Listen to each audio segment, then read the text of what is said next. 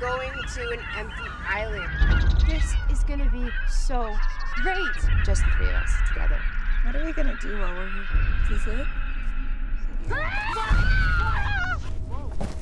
You, is that Henry Wallace? Uh, you're lucky you didn't get shot, you know? So what are you girls doing out here anyways? I mean, nobody comes out here anymore. We are just camping here for a couple of days. You guys want to join us?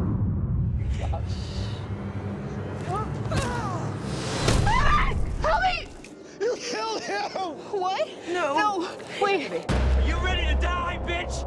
You gotta tie up three girls to a tree to kill them.